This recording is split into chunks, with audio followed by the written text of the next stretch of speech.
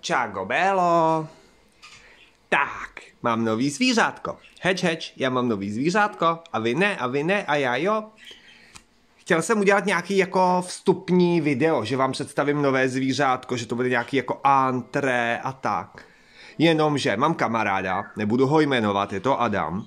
A on furt, he, už máš dva dny, už máš jeden den, he, kdy bude nový video, kdy bude nový video, no prostě takhle terorizoval mě a otravoval. Já jsem říkal, nebude nový video, o ne, kdy bude nový video, no tak je nový video.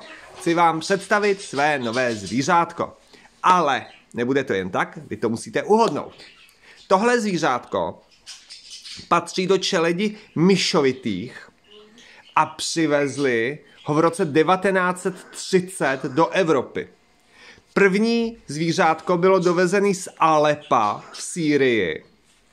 V dospělosti má od 120 do 200 gramů. To velký rozpětí podle velikosti chovaného druhu. A co bychom o tom řekl? Je v různých barvách, od bílý až po černou.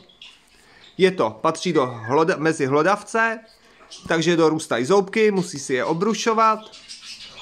A je to co? Hádejte. Tak, hádat, šup, šup, hop. Hádejte, já se zatím budu zpívat. Na bílej hoře knet, loprt ořek, řeček je tlustej, běží po dvoře, tra, la, la, la, la. Tak, už jste uhodli, kdo to je? Tak, kdo to neuhodl, tak mu dám druhou nápovědu. Je to křeček. Tak, a teď hádejte. A tra la la la la la la la la la la la la la la. Už jste to uhodli všichni? Kdo to neuhodl ani po druhý nápovědě, tak koukejte ten YouTube smazat a jděte se učit. Protože když někomu řeknu, že je to křeček, a on řekne, mm, co by to mohlo být, že by myš, tak to teda nemá na YouTube co dělat.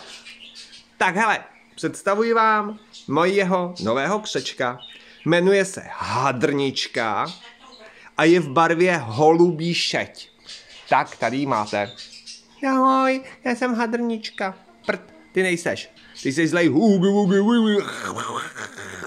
Pojď sem. Šup, ty tady oktopusce. A my se podíváme, co máme tady. Halo, halo, máme tu něco. Koukejte, co tu máme.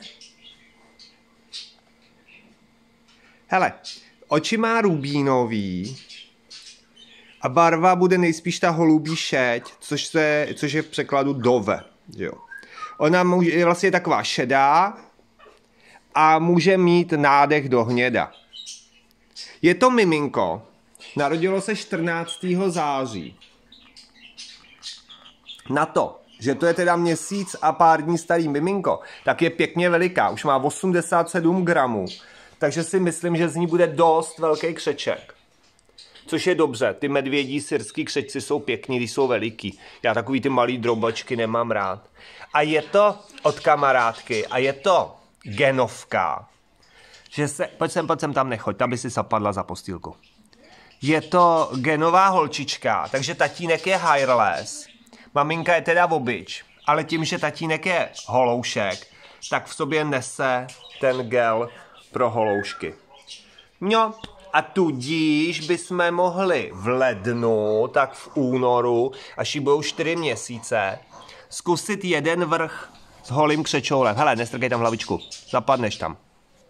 Mohli bychom zkusit jeden vrch a třeba se nám taky narodí něco holího. Třeba se nám něco holího narodí. Vidí, holčičko. Jinak pro ty, co se ptali na uh, chlupáčka, tak já jsem chlupáčka, ještě když byl malinký, toho holouška, dal kamarádce, protože ona ho hrozně potřebovala pro dceru. A já jsem ho zrovna v tu dobu vůbec nepotřeboval. To, a byl malý miminko, takže nevadilo, že šel někam cestovat. Hele, kam jdeš? Zapadneš za postýlku. Ježíš Mariano, musela tam vlíst. Takže jsem ho dal kámošce. Pojď sem ty. Ježiš. Ach jo, myslím, že už křečka nikdo nikdy nenajdem. To tady pěkný chlívek děláš ty. Hele rambička, vidíte rambička našeho. Pojď sem ty, šmudolíne. Tak se jukněte, jak vypadá malá šmudolinka. Bude se jmenovat Hadrnička. A kdo ví pokom, Kdo ví, kdo je to hadrnička? Napište to do komentů. Tak jo, hele, to je dneska všechno. Konečně mám splněno. Natočil jsem video na malýho novýho chrčka. Líbí se vám? Ty pěkně aktivní chrček. Udělal mi tu pěkný chlívek. Tyhle ty zapadnej za postel už nikdo nikdy nenajde. No, tak udělala bordel, kde mohla, až tam zapadla, já jsem to věděl. Pojď sem, nelez tam. Vylez.